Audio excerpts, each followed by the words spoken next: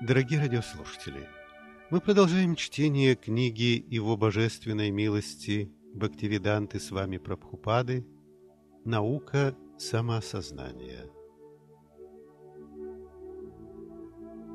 Проведение исследований души несомненно свидетельствовало бы о прогрессе науки.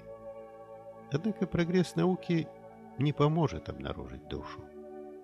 Наличие души можно признать и на основании косвенных признаков.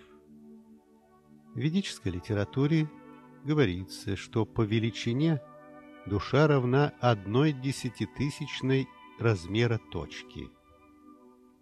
Ученый-материалист не способен измерить длину и ширину точки, поэтому он не в состоянии локализовать душу. Но вы можете просто признать существование души, получив это знание от авторитета. То, что крупнейшие ученые обнаруживают сейчас, мы давно уже объяснили. Как только человек осознает существование души, он немедленно осознает существование Бога.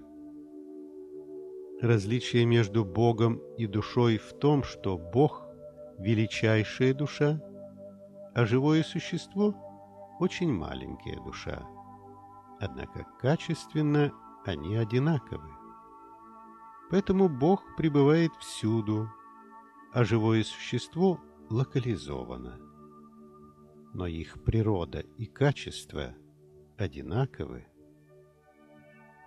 Главный вопрос, говорите вы, где находится душа и откуда она приходит? Это нетрудно понять. Мы уже говорили, что душа пребывает в сердце живого существа и после смерти получает другое тело. Изначально душа приходит от Бога. Искра вылетает из пламени костра и, упав, кажется потухшей, так и духовная искра изначально приходит в материальный мир из мира духовного. В материальном мире она попадает в условия трех видов, называемых гунами природы. Когда искра пламени падает на сухую траву, она сохраняет свойства огня. Когда искра падает на землю, она не может проявить свои свойства огня, если только Земля не создаст благоприятных для этого условий. А упав в воду, она гаснет. Таким образом, мы обнаруживаем три вида условий жизни. Одно живое существо полностью забыло о своей духовной природе, другое почти забыло, но все же сохраняет инстинкт духовной природы, а третье поглощено поиском духовного совершенства. Существует авторитетный метод, с помощью которого духовная искра души может достичь духовного совершенства. И если она принимает верное руководство, то без труда находит дорогу домой, обратно к Богу, откуда первоначально упала. Если эта авторитетная информация ведической литературы будет представлена современному миру на основе последних достижений науки, это будет огромным благом для человечества.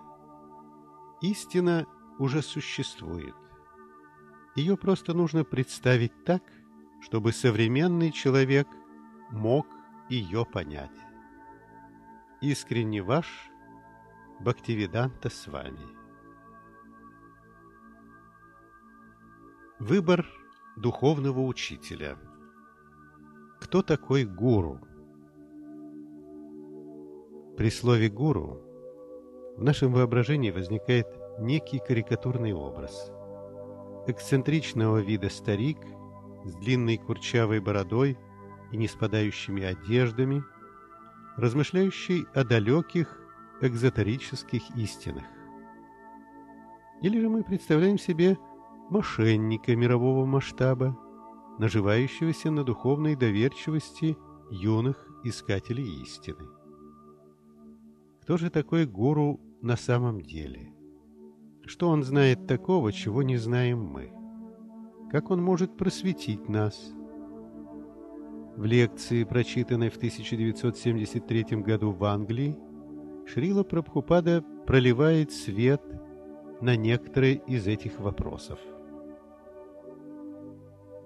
«Я был рожден во тьме невежества, и мой гуру, мой духовный учитель, открыл мне глаза, рассеяв тьму факелом знания. Я в почтении склоняюсь перед ним».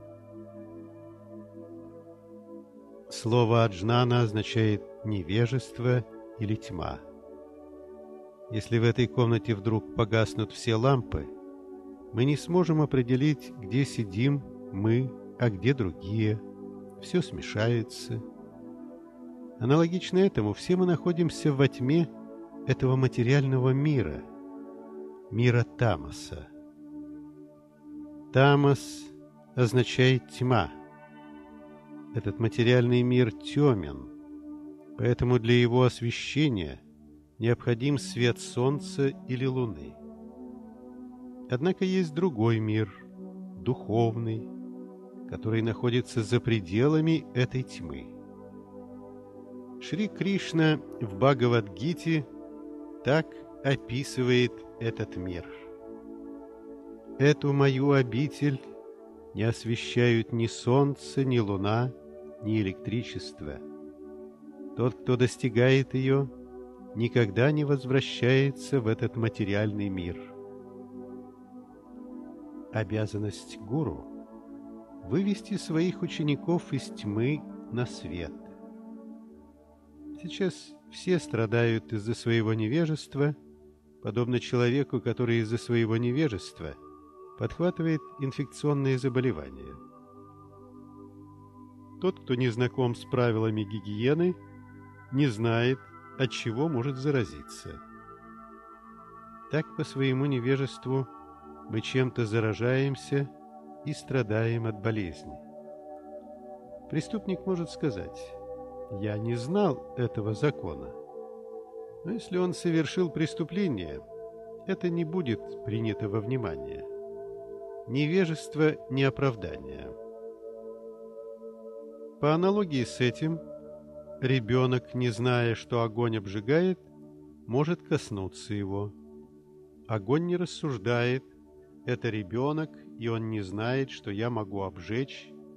Нет, это не может служить оправданием.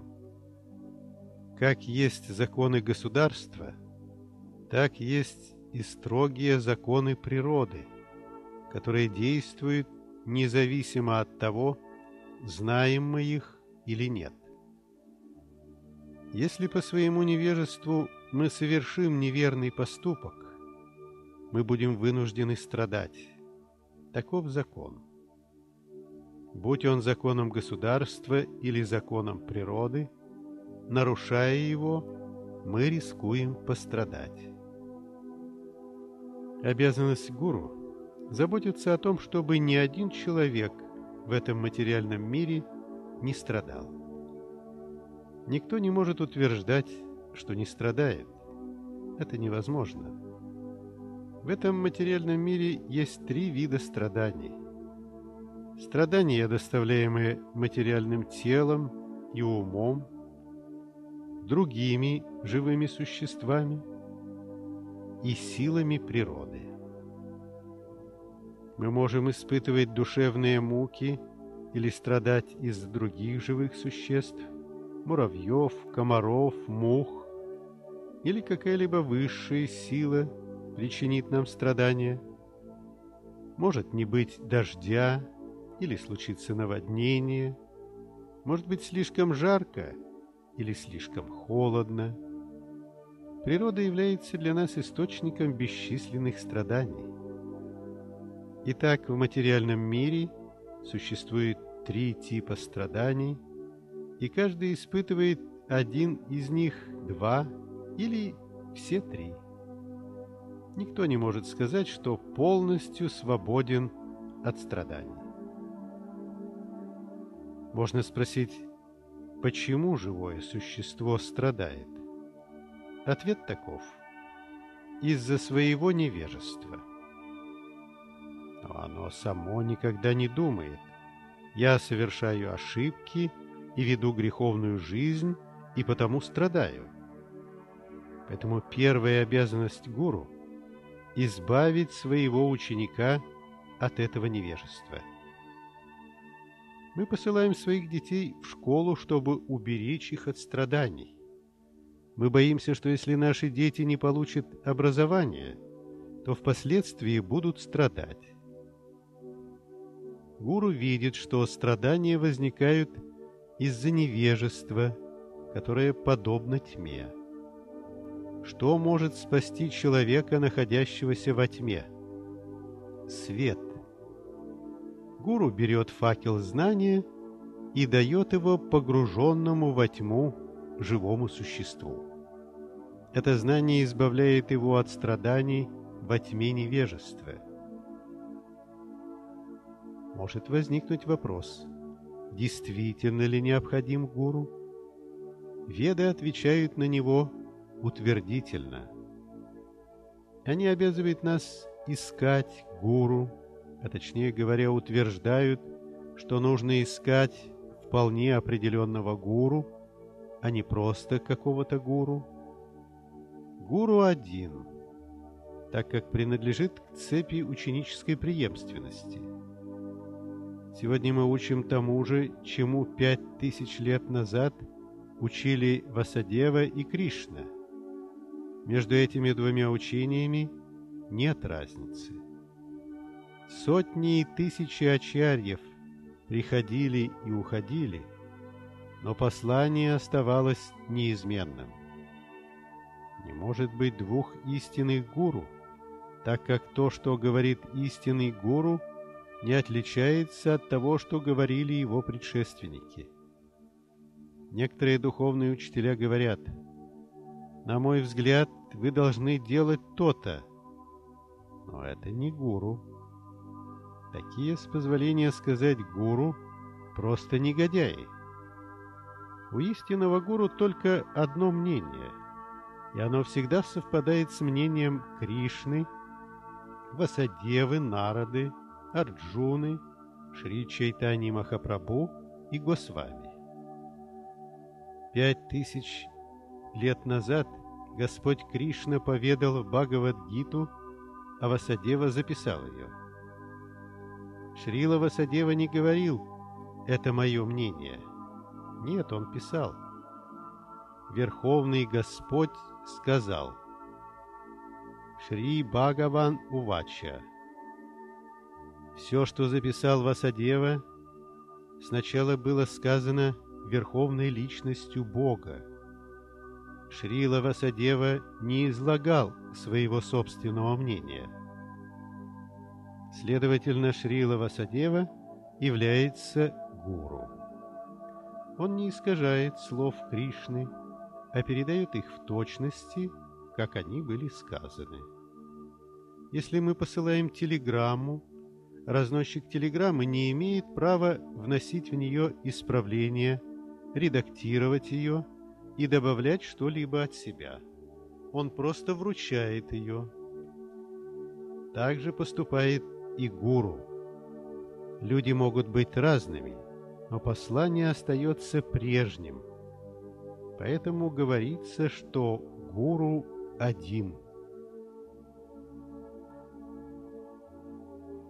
Уважаемые радиослушатели, продолжение чтения книги Его Божественной милости Бхактивиданты с вами Прабхупады «Наука самосознания» слушайте в это же время в наших следующих передачах.